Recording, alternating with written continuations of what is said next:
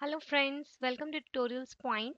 In this tutorial, we will discuss about the monitoring feature in the BO area. So we will go here to the CMC and here to the drop down, we go to the monitoring section of the CMC. So monitoring application, it allows you to capture the runtime and the historical metrics of the BI platform servers for reporting and notification. The monitoring application it helps the system administrators to identify if an application is functioning normally and if the response times are as expected.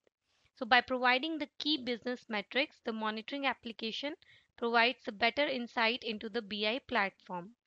It allows you to perform the different tasks like check the performance of each server, view the critical system KPIs, view the entire BI platform deployment based on the server groups, service categories, and enterprise nodes, both in the graphical and the tabular format. After that, to view the recent failures on the dashboard screen, then to check the system availability and response time, analyze the peak load and the peak period for the CMS, and then integrate it with the other enterprise applications. So all these things you can do with the monitoring. So first of all, we have the dashboard. So at this dashboard, you can see the state of the servers using the either the service categories, server groups, or by the enterprise nodes. After that, here you can see the status of all the service categories, groups, and the nodes. Then you have the option of metrics.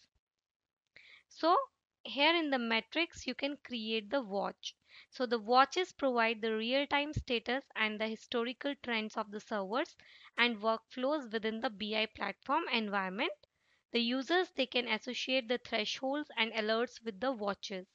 We can create a watch using the data from the probes, servers or the derived metrics.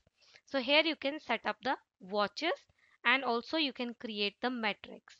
So here if you expand the list, you can see that these are the different metrics, probes, servers and the topologies you can use. After that we have the watch list. So in the watch list you can search for the watches and here you can see the different status for the attributes for the watches which you have configured. Then you have the probes.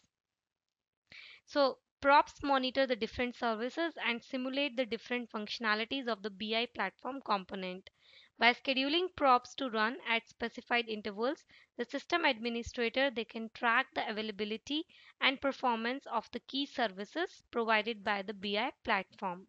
And this data it can be used for the capacity planning. So you can uh, configure the probes for the BI Launchpad, CMS Cache, CMS DB connection, all these probes which are mentioned here like start and the stop of the servers. So you can define your own probes and after that you will be alerted based upon the values. Then we have the alerts. So you can also set up the alerts in the system.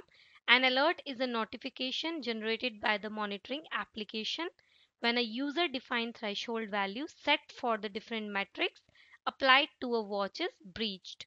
So we can choose to receive the alerts either through the email or on the dashboard page. So these are the main characteristics of the monitoring which is available in the BO platform. Thank you.